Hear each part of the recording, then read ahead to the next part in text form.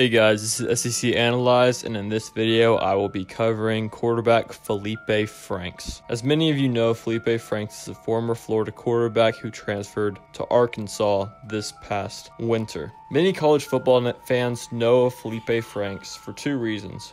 One, he's a very talented quarterback, but two, he has been accused of being undisciplined on and off the field.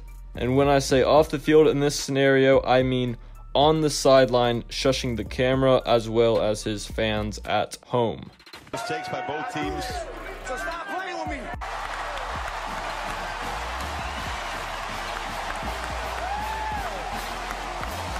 Feleipe Franks is a very interesting quarterback for this reason. However, it is sad to see a player with so much talent have so many important flaws. In this video, I will be explaining to you why Feleipe Franks is so talented, as well as what those flaws are.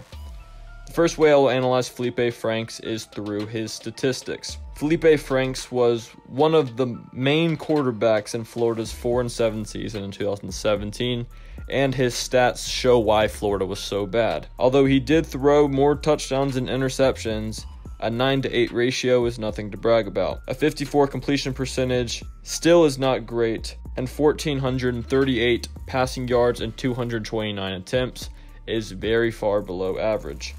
Where you see Feleipe Franks start grow as a quarterback is in his 2018 season, when he threw for 24 touchdowns with only 6 interceptions. If you add in his 7 rushing touchdowns, and Feleipe Franks is one of the best quarterbacks in the SEC and one of the best offensive systems in the NCAA. His completion percentage still did not grow by that much, being 58.4%, which shows you the level of inconsistency in a quarterback like Feleipe Franks. What many casual college football fans don't know about Feleipe Franks is his ability to run. In traditional Dan Mullen offenses, the quarterback nearly always can run, which adds to the level of the offensive production. Feleipe Franks' 110 rushes for 350 yards is nothing incredible. However, it did help the offense work, and it allowed Feleipe Franks to contribute in more ways than his very good arm. Although Feleipe Franks' freshman year and junior year were not incredibly good, his sophomore year shows how good he can be as a quarterback, which earns him the fifth best rank on that statistical analysis scale. The second way I will analyze Feleipe Franks is through the SEC Analyze theorem. The first part of this is how well he fits into the offensive identity. For those of you who do not know, Arkansas's new offensive coordinator is Kendall Briles. Hired in this last offseason, Kendall Briles is one of the most underrated hiring the SEC. For those of you who do not know, Kendall Briles was the offensive coordinator back when Baylor was scoring 70 points a game. Since then, he has been to various schools such as FAU, Florida State, and Houston, where he has shown that his offensive identity has improved and he can still be a very good offensive coordinator at the collegiate level and possibly the NFL level. His style of offense is fairly similar to Dan Mullen and will help Feleipe Franks excel in his senior year.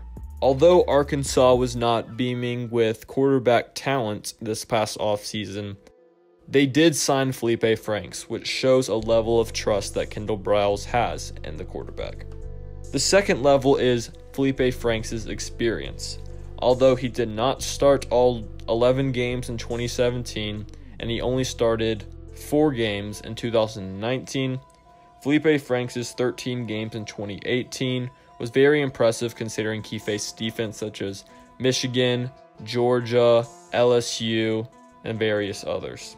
I gave him an 85 for experience because although he did face those teams, he has not been a starting quarterback for as long as other quarterbacks like KJ Costello. Where Feleipe Franks' rating goes down a little bit is in something that isn't even necessarily about him.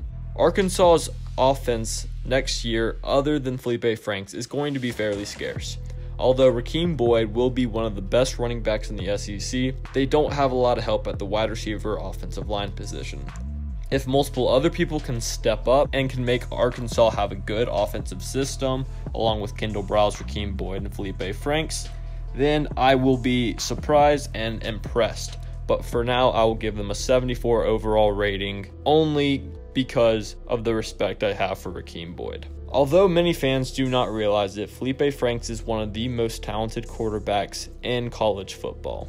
His arm strength, speed, and just overall quarterback intelligence are extremely underrated. Because of this, I gave him an 86 of the talent, which averages out to an 82 overall the essay theorem, which makes him the ninth highest rated quarterback out of all SEC quarterbacks. Last and most important is his film analysis summary. As I've stated before, Feleipe Franks is incredibly talented, and in 2018 he thrived in the offensive system that Dan Mullen provided for him. However, you do see various flaws in Feleipe Franks. I do not know Feleipe Franks as a person, I've never talked to him, therefore, I really do not know what his actual character is. However, Various things I have seen throughout his college career make me question his ability to lead a team if they are struggling. On the field, Feleipe Franks has proven to be an inconsistent quarterback when under pressure and has proven to be decent at times only when he has a clean pocket. Although Arkansas will try to make this season as easy for him as possible, Arkansas does not have the offensive line to consistently give him a clean pocket in the SEC. If Feleipe Franks ever wants to be a very good quarterback at the college level and have any shot at the pro level, he needs to be able to get off accurate passes while under pressure. After watching all of Feleipe Franks' film, I've decided to rank him the ninth best quarterback from a film analysis standpoint. Thank you for watching. Please like and subscribe if you do appreciate this content. If you don't, tell me something that you would like to see about the SEC football and I will try to get that out to you.